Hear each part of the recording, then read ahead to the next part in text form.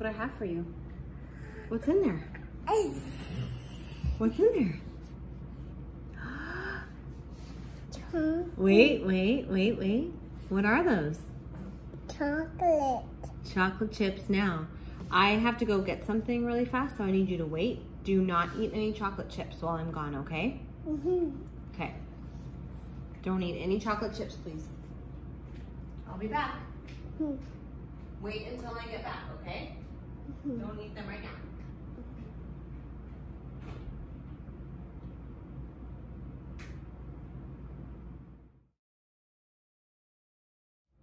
Hello and welcome back to week two of our HTC summer series all about the armor of God. I'm so excited that you're back with us this week. My name is Miss Anna. Again, for those of you who might not know me, today, like I told you last week, we are going to be learning about what it means to resist temptation. Now, there are two big words that we need to know in order to understand that phrase resist and temptation. Now, before I tell you what both of those words mean, I'm curious to see if maybe you already know, because a lot of you are very, very, very smart. So, pause the video and tell someone next to you what the word resist means. Did you take a guess? So resist means to push back up against something. So if something is coming at you, you're resisting, you're pushing against that thing. Okay, next word, temptation. Pause the video and tell someone next to you, or just say it out loud to yourself. What do you think the word temptation means? Okay, so temptation is the desire to do something, especially and usually something wrong. Now, being tempted to do something is a lot like being pushed in the wrong direction. So when we resist temptation, we're pushing back on the desire to do something wrong. Now, Satan is always, always on the lookout for ways to use temptation against us and to get us to do things against the Lord. Now, he's very, very smart and very, very sneaky. So he uses a whole bunch of different ways to test us and to tempt us. He loves to get us to try and do the wrong thing, but he also likes to get us to think that we're better than everybody else.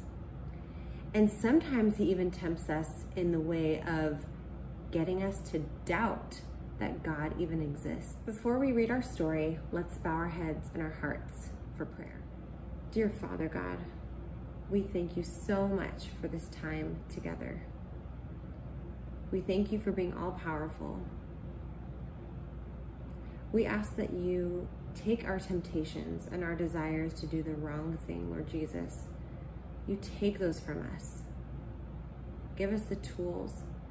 Clothe us in your armor, Lord God, every day so that we can resist temptation. Be with us today as we learn about you and how to better resist the temptations that come our way. We love you so much, Lord Jesus. Amen. Now let's take a look at some temptations that you might deal with on a daily basis. It's okay to cheat on that test. No one's looking. Just take that last cookie. Hmm. Play video games instead of reading your Bible. Now, there is good news. I always have good news for you. We can resist temptation. We're able to, but we're not able to do it by ourselves. We need the Lord. We need Him to guide us, and we need to trust Him and have faith in Him in order to resist temptation.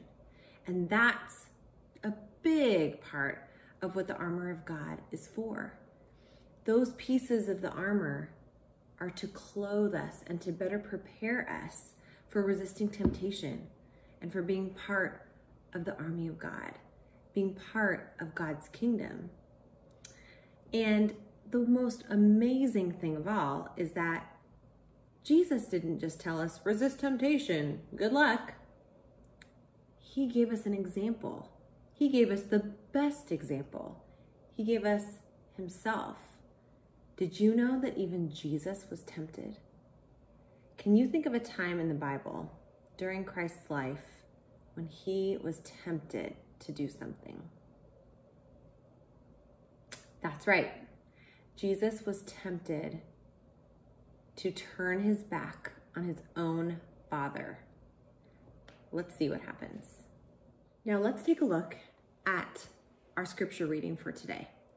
We're going to read about Jesus being tempted by Satan in the wilderness. We're going to be reading from Matthew 4, 1 through 11, but I'm going to be reading from the Jesus Storybook Bible. So if you have this Bible, go ahead and read along with me. Let's go. After Jesus was baptized, he went straight out into the desert. That might seem like an odd place to go because, as you know, deserts are very hot and there isn't any food or water or places to stay. But Jesus needed to get away by himself and be somewhere quiet and lonely. He needed to be with his heavenly Father to get ready for his new life. In the desert, Jesus thought about the secret rescue plan he had made with God. Before the foundation of the world, they both knew what would have to happen. To rescue God's children, Jesus would have to die. There was no other way. It was the reason he had come. Now, that old enemy, the one who had spoken through the snake to Adam and Eve back in the garden, remember him? He didn't want Jesus to rescue God's people, so he lied to Jesus. Are you really God's own son? He whispered, Poor you. God must not love you. You don't need to die. Do it way. Yes and no, Jesus said to the liar. I will do what God says. And from that moment on, nothing would ever be the same. Jesus wasn't like Adam. Jesus was a new kind of man. He would not believe the terrible lie that the enemy spoke. Jesus knew God loved him, and he would trust God no matter what. It was just as God had promised to Adam and Eve all those years before. Jesus had come to do battle against the snake's work. He would get rid of the sin and the darkness and the tears, and he would suffer, but he would win. The Bible tells us in James chapter 4 verse 7, resist the devil and he will flee from you. That's how simple it is. Christ showed us that he was able to resist temptation, but he knows that we need some extra help.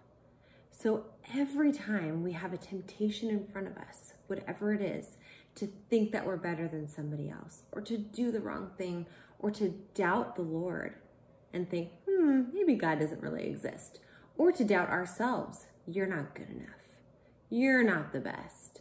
All of those things are temptations.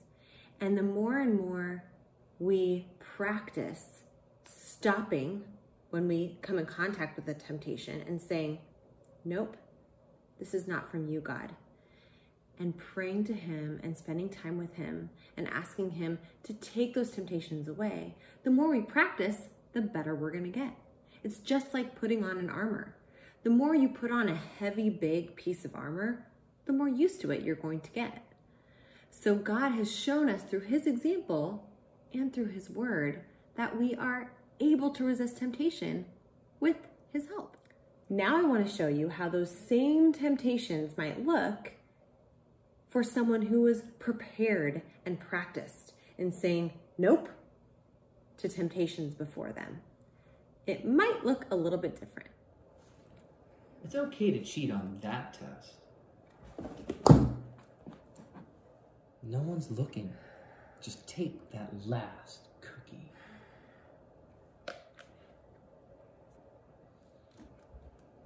Go ahead. Just play that video game instead of reading your Bible.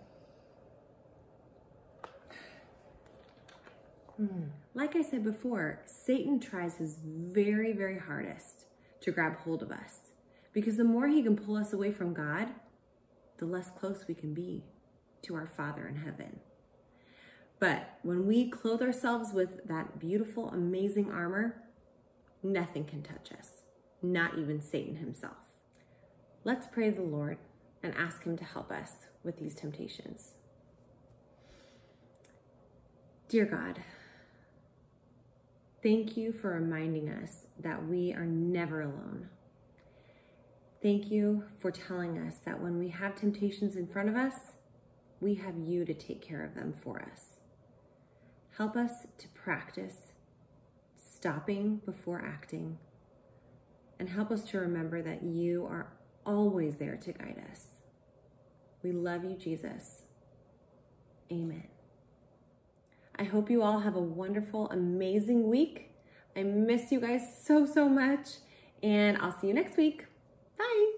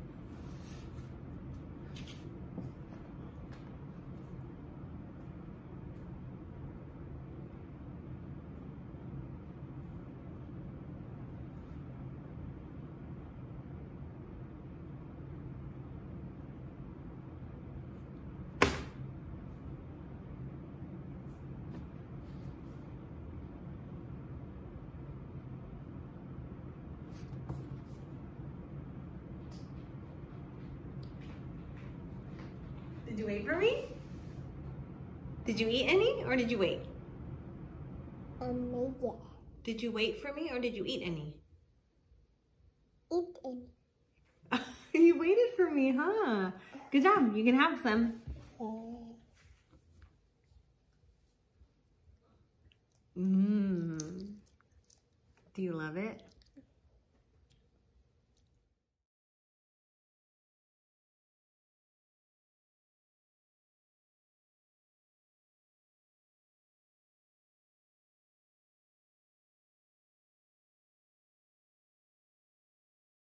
Eli, don't open that. Don't.